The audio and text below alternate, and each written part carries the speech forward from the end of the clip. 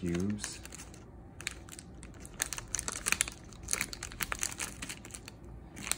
I like the way you do the cheese. It makes a big difference. You do like tiny squares like this. They melt up well with this thing. This size.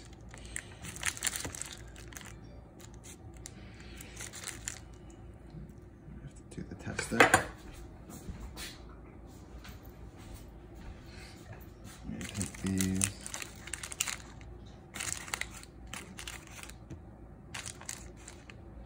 Put them right in here. Just Need tomato or anything?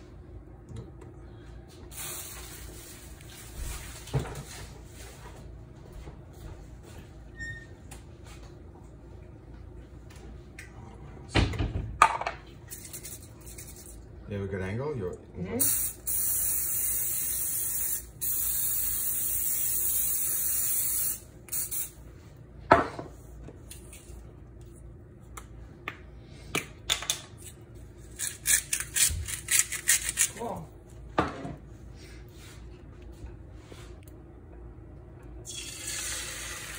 Gotta be careful because if it doesn't cook quickly enough, it'll drip off this area. it more in there. So it's just really to keep it a little evenly spread and do it slowly. You can come back around later to see how this is about to drip out right now. Oh, we're gonna make it hotter. No, you just have to take a little, uh, I'll actually lean it like this so it like solidifies up faster. Oh, it came with a bottom plate, and I didn't know what it was for. I have know, to bring it over. That's a catcher, but I don't want it Yeah. to drip off at all. We don't need it anyway. The idea is that it doesn't drip off for me. And even after it solids up, you could just go over it a little, It doesn't matter.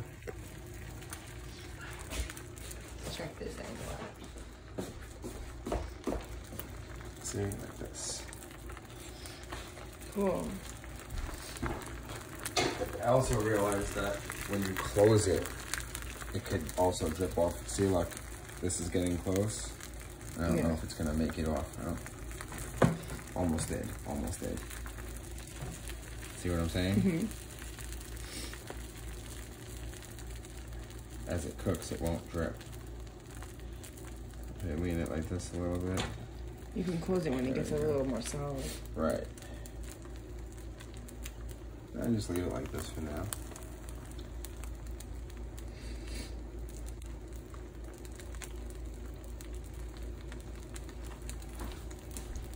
Actually cooks really quickly too. Yeah, this is better than pan.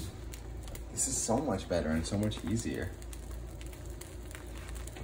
See, now when I close it, it's gonna squeeze it off this end, you see? Yeah.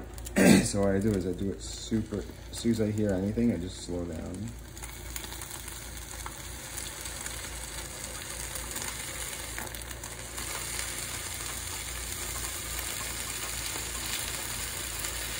Actually don't even let it squish all the way.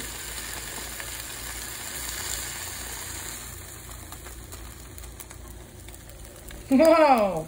See? Let me get the spray more in the.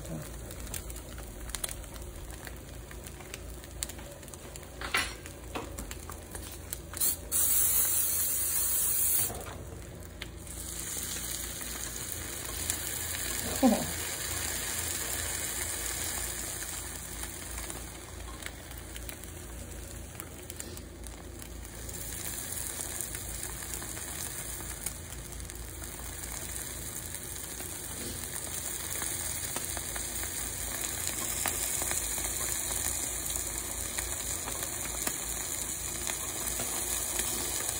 And basically nothing, nothing drips off.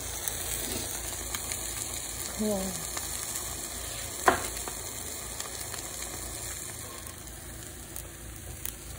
And it's done. Wow.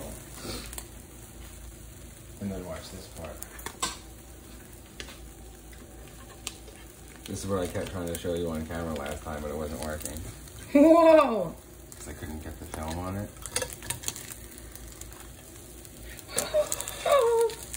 And there you have it. You know how good that's gonna be.